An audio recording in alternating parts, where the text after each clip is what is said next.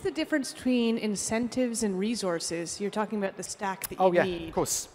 So incentives are often when it comes to an exit, people, businesses planning, for incentives are a share option scheme, some money to do that kind of thing, right? Incentives are offering the team something to do something else. An incentive could be the dream you're, the dream you're going for. Yeah, we're going to kill Microsoft. That's an incentive for some people.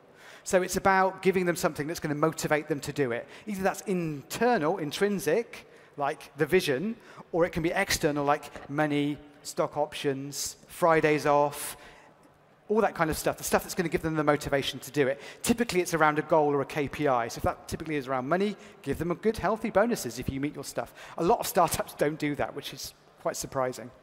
Um, resources are just the stuff they need to do their job. So have they got the right tools, enough money to spend on the ad campaigns, the things they need to do their job. The one that's often missing from most early stage businesses is incentives, weirdly enough.